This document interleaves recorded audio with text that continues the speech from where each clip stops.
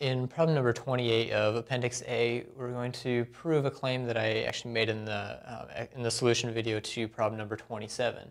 And in that video, I said that um, the unit tangent vector and the unit normal uh, vector were actually perpendicular. Um, that's exactly what this uh, problem asks us to prove. Uh, we want to show that uh, the dot product of the unit uh, tangent and the unit normal vectors are equal to zero. We'll start up by actually looking at the dot product of the unit tangent vector. Um, just to simplify notation, I'm just going to write t without the small t there.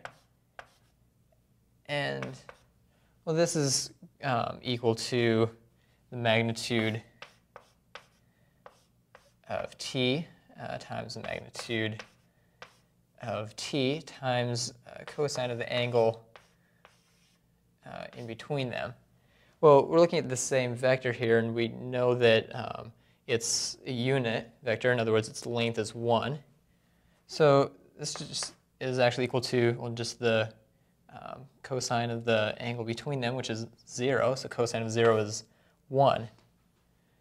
Uh, now we can take the derivative of both sides with respect to time.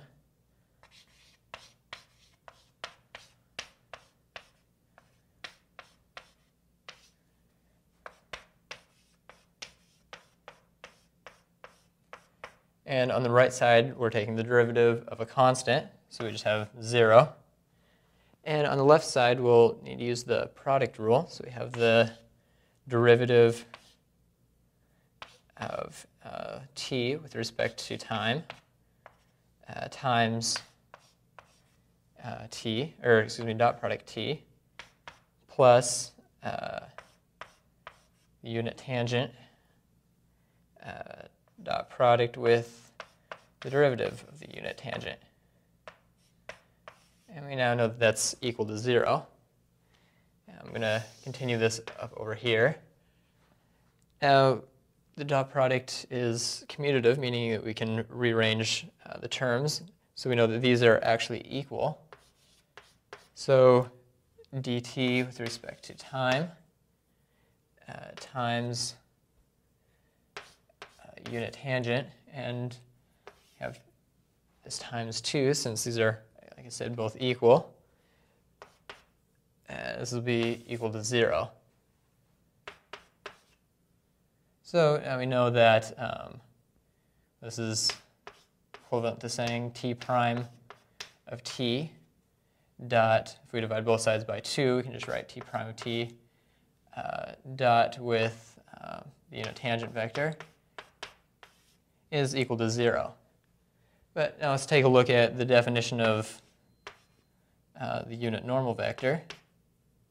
So we have unit normal vector is the derivative of the unit tangent over the magnitude of the unit tangent. Or magnitude of the derivative, rather, of the unit tangent vector. So if we put this all together and um, just compute the quantity t dot n, we see that this is equal to, well, t uh, dot t prime of t over the magnitude of t prime of t. But this is just a constant here in the denominator, so this factors out.